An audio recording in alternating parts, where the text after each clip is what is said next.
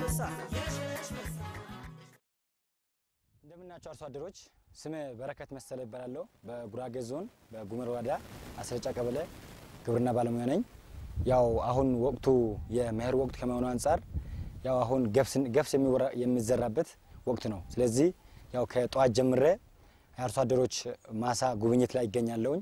በሰጠሁት ኪሎ ስልጠና መሰረት የትኛው አርሶ አደር እየፈጸመ ነው በሚለው ዙሪያ ጉብኝት እያደረኩ ይገኛለሁ። ስለዚህ አሁን አሁን ያው ከዚህ በመቀጠል የምንወርደው ወይም የምናየው የአቶ አብድራዛቅ ዴዱ ማሳ ነውና ከዚህ ከአቶ አብድራዛቅ ዴዱ ማሳ ላይ ያለንን ቆይታ እንድትከታተሉ በአክብሮት ይጋብዛለሁ። አመሰግናለሁ።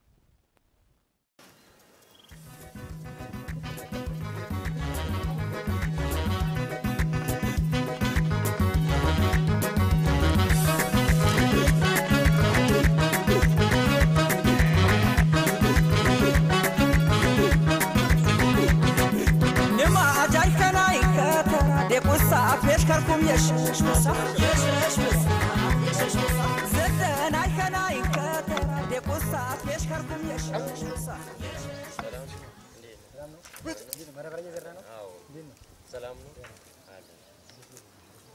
እንዴት ነው?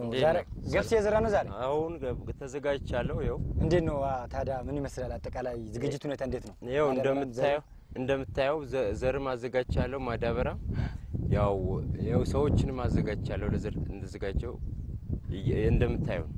በጣም ጥሩ። እሺ ጋሽ አብዲ፣ ያው ዛሬ ገብስ እየዘራ እንዳለ ነው ያው በማሳውም ያገኘሁት እና አጠቃላይ ጥሩ ዝግጅት አድርገሃል። ነገር ግን ይሄን ማሳ ስንት ጊዜ ነው ደጋግመህ ያደረስከው? አምና ባቄላ የተዘራበት ስለሆነ ይሄ አምስተኛ ዙር ነው። በአምስተኛ ዙር ዘር እየዘራው ምናልባት ጋሽ አብዲ፣ ያው አጠቃላይ ጥሩ ዝግጅት እንዳደረክ ለዘሩ ነግረኸኛል። ምን ምንድን ነው ያዘጋጀው? አሁን ለአጠቃላይ ለዘሩ ምን ምን ያዘጋጀ? አዎ ያዘጋጀሁት ማሳ ያው ግማሽ ሄክታር ስለሆነ ኪሎ ዘር NPS ማዳበሪያና potassium chloride ያው በአምሳ ኪሎ እሱም አምሳ ኪሎ እና ዩሪያ ደግሞ ሰባ አምስት ኪሎ አዘጋጅቼ ወጥቻለሁ። በጣም ጥሩ ነው ጋሽ አብዲ። ያው አጠቃላይ ያለው ነገር ጥሩ አድርገሃል። ነገር ግን አሁን ቅድም የዘረዘርካቸውን አጠቃላይ ግብዓት አጠቃቀም፣ የዘር አጣጣል፣ አጠቃላይ ያለው ነገር በአግባቡ ልታሳይን ትችላለህ? የመስመሩን አዘራር አዎ እና ያው ያዘጋጀሁትን አሳይሃለሁ። ማሳ ጥግ ላይ ምናልባት የጎደለብኝም ካለ አንተ ታስረዳኛለህ። ያው እኔ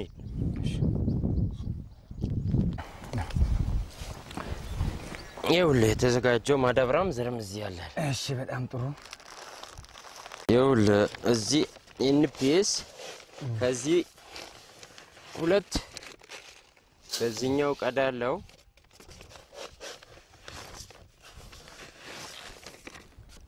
ከዛ ለዚህ ደግሞ ከዩሪያ አንድ ቀዳለው ከዛ ደግሞ ፖታሽየም አንድ ቀዳለው ከዛ ደግሞ እደባልቀዋለሁ። የምደባልቀው ደግሞ ቤት ሳይሆን ማሳ ውስጥ ነው። እስቲ የተሳሳትኩት ነገር አለ? እስቲ የምታስረዳኝ ወይም ተጨማሪ ነገር የምትሰጠኝ ሀሳብ ካለ አዎ ጋሽ አብዲ በሚገባ ቀላቅለሃል። በጣም ጥሩ ነው። ነገር ግን ያው አሁን NPS boron ሙሉ ሙሉ እንትን እዚህ ተጠቅመሃል ወስደ የወሰድክበት ሁኔታ አለ። ሲቀጥል 75 ኪሎ ዩሪያ አዘጋጅተሃል። ከዛ ውስጥ ግን 25 ኪሎን ተጠቅመሃል። 50 ኪሎ ይቀመጣል። ፖታሽየም ደግሞ ግማሽ ነው፣ 25 ኪሎን ተጠቅመሃል። ግን ይሄ ከ NPS ጋር አጠቃላይ ቀላቅላል። ነገር ግን የቀሩ የቀረው ዩሪያና የቀረው ፖታሽየም ለምንድን ነው ያስቀረኸው? መቼ ልትጠቀም ነው? ዩሪያ ሁለት እጁና ፖታሲየም አንድ እጁ አረም ባረምኩበት አረም ካረምኩኝ በኋላ ከ30 እስከ 40 ቀን ባሉት ቀናት ውስጥ እሰጠዋለሁ። አረም ካረምኩኝ በኋላ ማለት አሁን የቀላቀልካቸውን ማዳበሪያዎች ስለ አዘራሩ ልታሳይን ትችላለህ? አሁን ማሳየት እችላለሁ። ማለትም አሁን እኔ መስመር ያዘጋጀሁት ማዘጋጀት በበ- በበሬም ሆነ በእጅ ማዘጋጀት ይቻላል። በእጅ ከተዘጋጀ 20 ሴንቲሜትር በበሬም ከሆነ ደግሞ ድግሩ ትንሽ ተቀንሶ በ20 ሴንቲሜትር የተሰራ ድግር አለ። በሱ ይዘራል። አሁን ለአንድ እርምጃ ለአንድ እርምጃ ሁለት ቆርኪ ለአንድ እርምጃ ሁለት ቆርኪ ያህል ነገር እዘራለው። ለ- በዛኛው ቦታ ዘር የሚዘራው ሰው ለዛ ለአንድ እርምጃው መቶ ፍሬ መቶ ፍሬ ገብስ እጥላለሁ ማለት ነው። እሺ ጋሽ አብዲ በማሳ ላይ እየሰራ ማሳት ትችላለህ? እሺ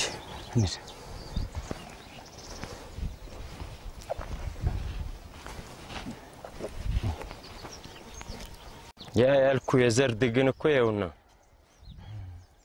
በጣም ጥሩ። ይሄ መሬት ማለስለሻ ማረሻ ነው። ዝሪያ ደግሞ ይሄ ነው።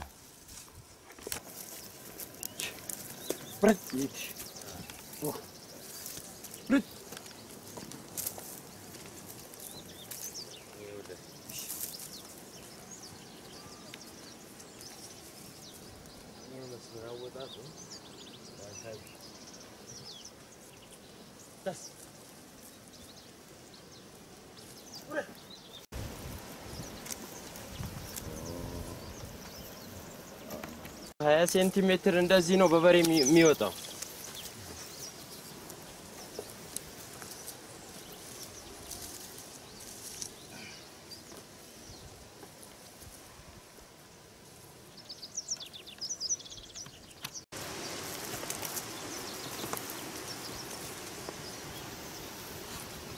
እሺ ጋሽ አብዲ ይሄ መስመር 20 ሴንቲሜትር መሆኑን እንዴት ታውቀዋለህ? ደግሞ የዘር አዘራር አጠቃላይ አዘራር ስለ አዘራሩ ልታሳይን ትችላለህ? ይኸውልህ ይኸውልህ ይሄ ሀያ ሴንቲሜትር ነው የተዘጋጀው። በዚህ ልክ ነው። ይኸው መስመሩ ይህን ይመስላል። እስቲ ትክክል፣ sharp ነው 20 ሴንቲሜትር። በጣም ጎበዝ ነው። በጣም ጎበዝ ነው። እሺ ጥሩ ነው ጋሽ አብዲ። ያው የመስመር ስፋቱ በዚህ ልክ ከለካው አሁን የውስጡ እንትኑ የቦዩን ጥልቀት እንዴት ታውቀዋለህ? አሁን መጀመሪያ መስመሩ የሚዘጋጀው ለማዳበሪያ ከሰባት እስከ አስር ሴንቲሜትር ይዘጋጅና ያ ማዳበሪያ አፈር ይለብሳል። ከዛ በኋላ ለገብሱ ለዘሩ ወይም ከሶስት እስከ አምስት ሴንቲሜትር ድረስ ነው የሚዘጋጀው ማለት ነው። ጥሩ ጋሽ አብዲ። አሁን ባልከው ልክ ዘሩና ማዳበሪያውን ጥለህ ልታሳይን ትችላለህ? ልጆች ማዳበሪያና ዘር እስቲ ስጡኝ።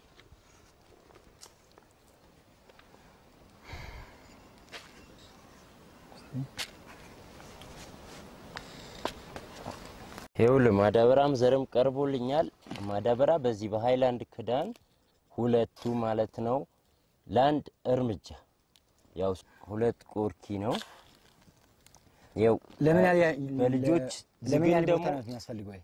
ይሄኛው ለአንድ ሜትር ማለት ነው። እሺ ለክተህ ያሳየኝ። okay ትል እንዲህ ነው።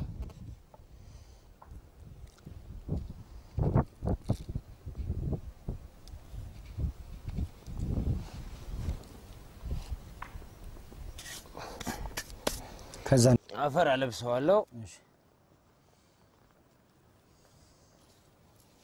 እሺ ከዛ በኋላስ ከዛ በኋላ ደግሞ ለዚች ለአንድ ሜትር ማለት ነው በዚቹ ክዳን አንድ ይሄ ማለት ነው መቶ ፍሬ ነው። መቶ ፍሬ ነው የሚይዘው። ቆጥሬዋለሁ ስላረጋገጥኩት ነው። ከዛ እዘራዋለሁ ማለት ነው ለዚህ ቦታ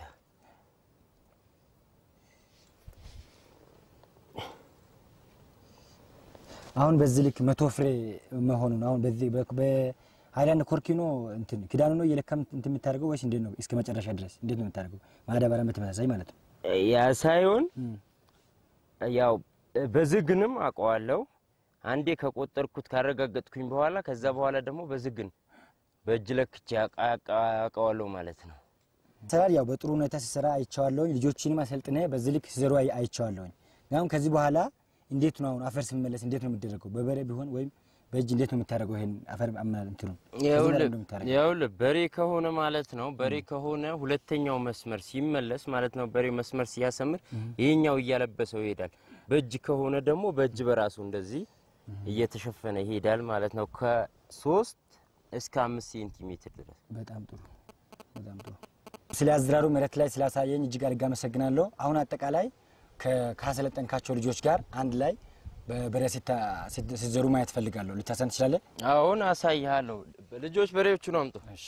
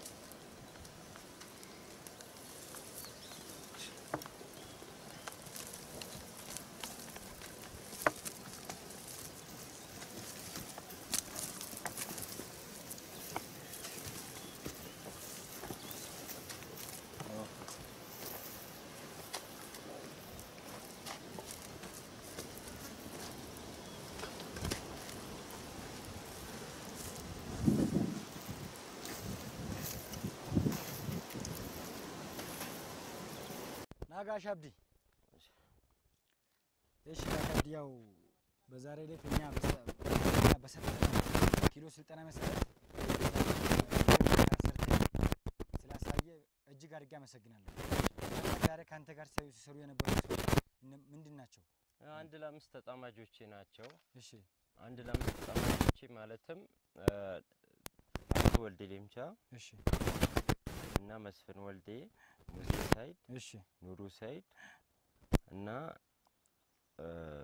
ሸምሱ አቶ ሸምሱ ፈረጃ በዚህ አንድ ለአምስት ተጣ- ተጣምራችሁ ነው የምትሰሩት? አው እና የዛሬ እኔ ደግሞ የስራ ባለቤት እኔ አብዱረዛቅ ደዱ እሺ ዛሬ ሙሉ ጊዜን ሰጥተህ በጥሩ ሁኔታ ይሄን ስልጠና ደግሞ ይሄን ስራ ሰርተህ ስላሳየን እጅግ አድርጌ አመሰግናለሁ። ስለዚህ አሁን እኔ ያው ወደ ሌሎች አርሶ አደሮች ስለሚሄድ አንተ በርታ፣ ጠንክር። እሺ እሺ በደንብ አድርጌ አመሰግናለሁ። እሺ ቻው። አርሶ አደሮች ቀደም ሲል ያው በዛሬ ቀን ስለ ገብስ ለሚዘሩ አርሶ አደሮችን እንደሚጎበኝ ያው ነግራችሁ ነበር። በዚሁ መሰረት ከአርሶ አደር አብድራዛቅ ዴዱ ጋር የቆየንበትን ሰዓት ያው ቆይታ አይታችኋል።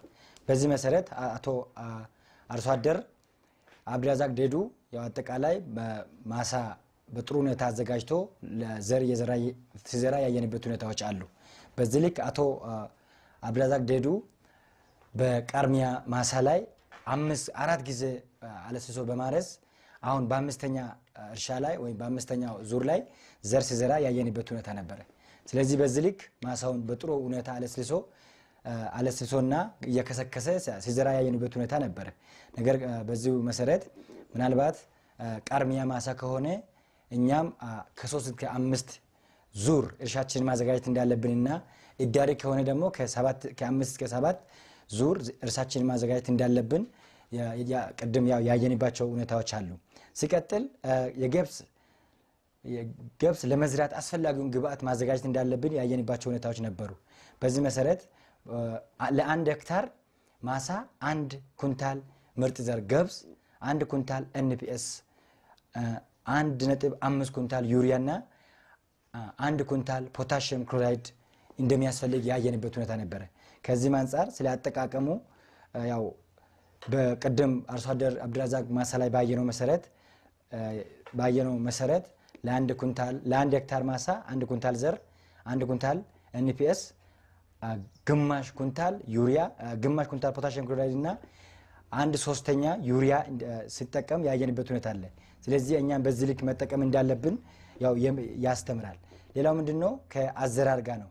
አዘራሩ የመስመር ቦይ ሲወጣ ለገብስ 20 ሴንቲሜትር ርቀት ላይ እንደሚወጣና በተጨማሪ በእጅ አ፣ በተ- 20 ሴንቲሜትር ርቀት ላይ ይወጣል። እሱም በእጅና በበሬ ይወጣል። በበሬ ሲሆን 20 ሴንቲሜትር 20 ሴንቲሜትር ሴንቲሜትሩን የጠበቀ አነስተኛ ድግር ማዘጋጀት መቻል አለብን። እሱም የማናዘጋጅ ከሆነ ደግሞ ማረሻችንን አሳጥረን ማረሻችንን በማሳጠር ወደ ዘር 20 ሴንቲሜትር በሚ- በሚሆን በሚሆነው ልክ አሳጥረን ወደ ዘር መግባት አለብን። በዚሁ መሰረት ቦይ የምናወጣው የቦይ ጥልቀት እ፣ ከ7 እስከ 10 ሴንቲሜትር መሆን አለበት። ከዛም በመቀጠል ወደ ማዳበሪያ ማደባለቅ ስራ የገባንበት ሁኔታ አለ። በዚህ ልክ ማዳበሪያ ቅድም የጠቀስናቸው ሶስቱ ማዳበሪያዎች ስናደባልቅ በቤት ውስጥ ማደባለቅ የለብንም። ታች ላይ ማሳ ላይ በመውሰድና እዛው በምንዘራበት ማሳ ላይ አስቀምጠን ማደባለቅ እንዳለብን ማደባለቅ አለብን። በዚሁ መሰረት ለአንድ ሄክታር አንድ ሙሉ ወይም መቶ ኪሎ ግራም NPS አዘጋጅተናል። ያን ደግሞ ስናደባልቅ 50 ከኪሎግራሙን ፖታሽየም ከእሱ ጋር በማድረግ አንድ ሶስተኛውን ወይም ሰባ- አ, አንድ ነጥብ አምስት ያዘጋጀነውን ዩሪያ አምሳውን ኪሎግራም ከነዛ ሁለቱ ማዳበሪያዎች ጋር በማደባ- በማደባለቅ ወደ ዘር የምንገባበት ሁኔታ አለ ወይም እንገባለን ማለት ነው። ቀሪው አንድ ኩንታል ዩሪያና 50 ኪሎግራም pota- potassium chloride በአረም ወቅት አረም በ35ኛ እስከ 40 ባለው ቀን ውስጥ አንደኛ ዙር አረሙን ካወጣን በኋላ ላዩ ላይ የምንሰጥበት ሁኔታ ይሆናል ማለት ነው። ሌላው ወደ ዘር ስንመጣ ወደ ዘር ስንመጣ ለአንድ ሜትር ለአንድ ሜትር የሚሆን ወይም ለአንድ ሜትር ርዝመት ለሚሆን መስመር ሁለት ኮርኪ ወይም ስምንት ግራም ቅድም ያደባለቅነውን ሶስቱን ማዳበሪያ ስምንት ግራም ወይም ሁለት ኮርኪ በማዘጋጀት ያ በአንድ ሜትር ላይ እንሰጠዋለን ወይም እንዘራለን ማለት ነው። ስንቀጥል ለአንድ ሜትር መስመር ደግሞ አሁን አንድ ሜትር ማዳበሪያ በዘራነው ማሳ ላይ ደግሞ አፈሩን ከመለስን በኋላ ወይም አፈሩን እስከ አራት ሴንቲሜትር ከመለስን በኋላ ምን እናደርገዋለን? ዘር እንዘራዋለን። ዘሩ ደግሞ ዘሩን እንዘራዋለን። ዘሩ ደግሞ ከአራት እስከ ወይም ከሶስት እስከ አምስት ሴንቲሜትር ጥልቀት ባለው ቦይ ውስጥ ከዘራን በኋላ አፈር እንመልሳለን። የዘሩ መጠን በአንድ ሜትር ቦታ ላይ ወይም መስመር ላይ መቶ ፍሬ ወይም አንድ ኮርኪ ወይም አንድ የሃይላንድ ክዳን እንደምንጠቀም ያው ያየንበት ሁኔታ አለ። ስለዚህ አርሶ አደሮች ቅድም ባየነውና በተነጋገርነው መሰረት ማሳችንን በዚሁ ሙሉ ግብዓትና ማሳውን ደግሞ በጥሩ ጥሩ በጥሩ ሁኔታ በማዘጋጀት በመከስከስ ሙሉ ግብዓት በመጠቀም በዚህ መዝራት እንዳለብን አሳስባለሁኝ። በመቀጠል ግን እንደ ማሳሰቢያ በዘንድሮ ዓመት ከዚህ ከአየር ንብረት ለውጥ ጋር ሜትሮሎጂዎች ያው ብዙ መረጃ እያስተላልፉ ይገኛሉ። ስለዚህ ከዚህ በፊት በሐምሌ ወር ስንዘራ የነበረውን የዘር ወቅት አሁን በሰኔ ወር ውስጥ መዝራት እንዳለብን ሜትሮሎጂዎች እየገለጹ ይገኛሉ። ምክንያቱም አሁን ቀድሞ የገባው ዝናብ ቀድሞ ደግሞ ሊወጣ ይችላል። ከነሐሴ 15 በኋላ ዝናብ ይወጣል የሚል የሜትሮሎጂ ትንበያ መረጃ ስላለን እኛ ቀድመን ዘሮ- ዘሮቻችን ወይም ዘራችንን ወደ ማሳ መዝራት እንዳለብን አሳስባለሁኝ። ስለነበረን ቆይታ እጅግ አድርጌ አመሰግናለሁ።